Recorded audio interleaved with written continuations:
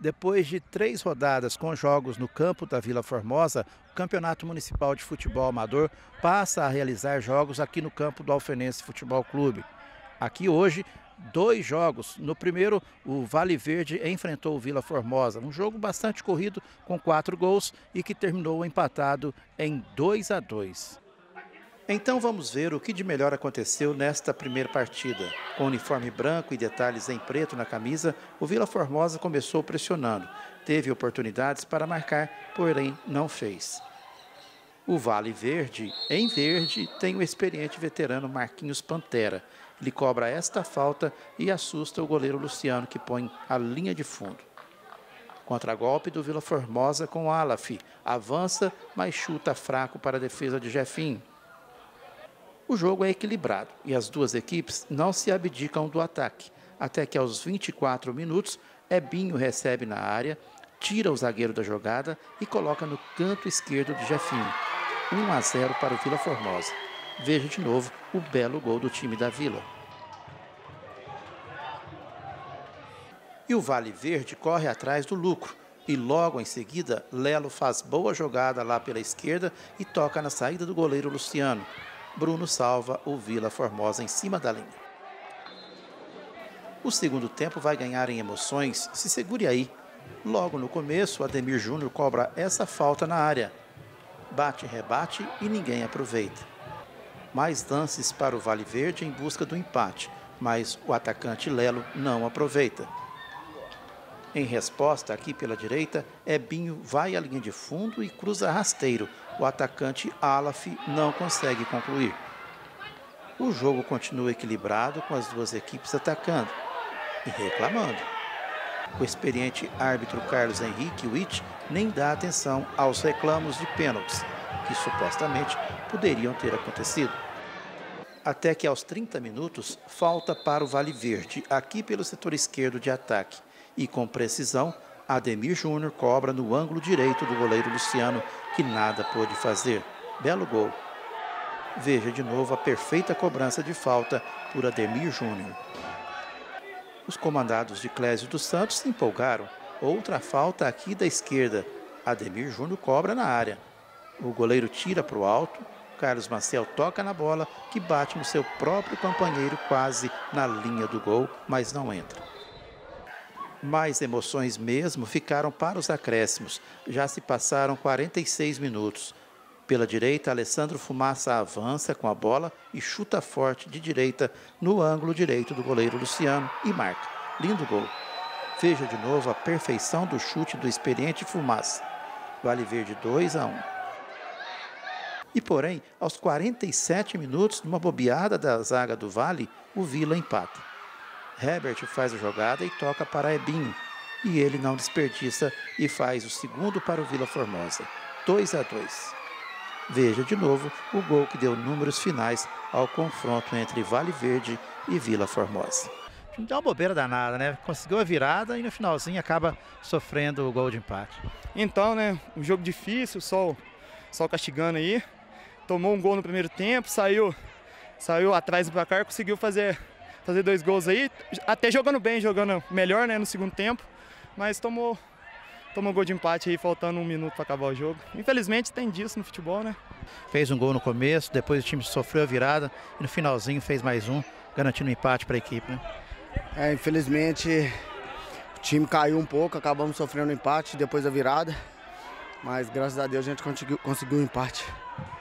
Mas a equipe está de parabéns. É, trabalhar mais aí para não deixar cair no próximo, no próximo jogo. Nas arquibancadas, os torcedores compareceram em massa para ver os dois jogos da rodada do Campeonato Amador.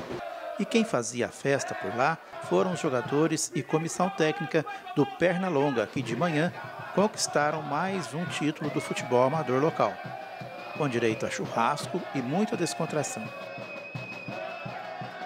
No segundo jogo da rodada, a escolinha do Carlinhos enfrentou o, o Chapadão.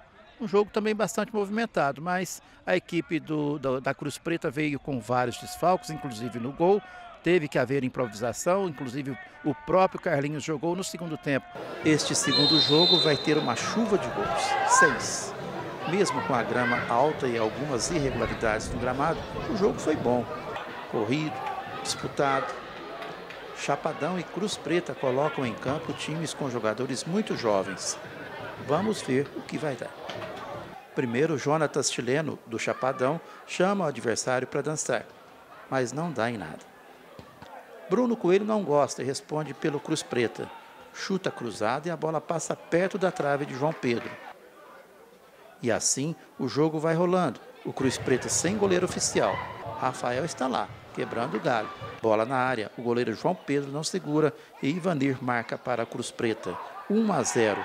Veja de novo a bobeada do goleiro do Chapadão.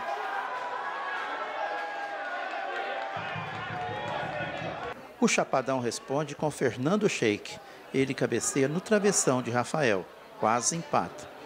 O time de Itamar Silva pressiona o Cruz Preta em seu campo de defesa.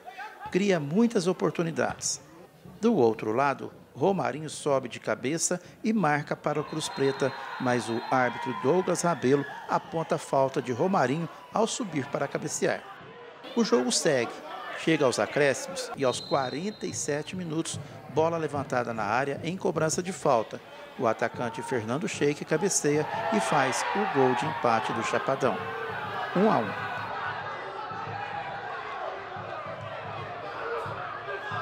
Dois minutos depois, novo cruzamento para a área e Iago Eliel não perdoa e marca o segundo do Chapadão. Gol da virada, Iago. E o primeiro tempo termina com vantagem de 2 a 1 para o Chapadão. Começa o segundo tempo e agora o goleiro da Cruz Preta é o zagueiro Carlinho Vardemar. Rafael foi para a linha.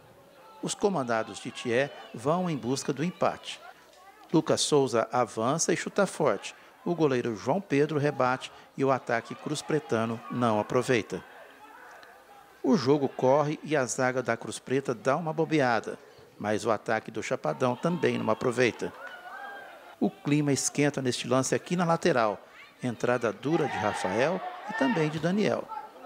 O árbitro marca a falta, mas o auxiliar Dedura e Douglas expulsa o zagueiro Daniel do Chapadão que fica inconformado, pedindo a expulsão de Rafael, o que não acontece. E mesmo com um a menos, o Chapadão aumenta, jogada em profundidade. O oportunista Fernando Sheik sai livre e só coloca na saída de Carlinho Vardemar. Chapadão 3 a 1.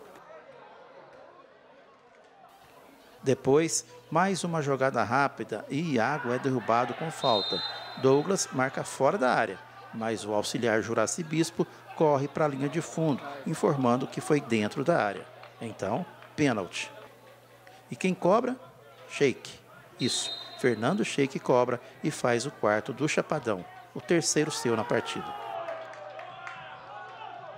E ainda sobra tempo para o Cruz Preta diminuir. Romarinho recebe na área, gira e manda no canto esquerdo de João Pedro, dando números finais ao placar. Final de jogo, Chapadão 4, Cruz Preta 2. O time tentou, né, Gabriel? Brigou até quanto pôde, mas não conseguiu. Infelizmente a gente não saiu com o resultado, mas tem que manter, né? Até o final o time tentou, mas infelizmente não, não foi possível sair com o resultado positivo. Uma vitória importante nessa altura do campeonato, né, Emerson? Graças a Deus, né? Podemos estar tá vencendo aí e praticamente estamos classificados aí para as quartas, não sei se é quartas, se é oitavas. Graças a Deus, Deus pode abençoar nossa vitória aí. O Campeonato Amador de Alfenas continua no próximo domingo com jogos no estádio do Alfenense Futebol Clube de manhã e à tarde, e um no campo da Vila Formosa, só de manhã. Às 8 horas, jogam Seperente versus Alfenense Futebol Clube. Em seguida, às 10 horas, Alvorada versus Pernalonga. À tarde, 2 horas, Seleção de Fama enfrenta o Divino. E no campo da Vila Formosa, às oito e meia da manhã, Clube Esportivo Operário jogará contra o Corolla.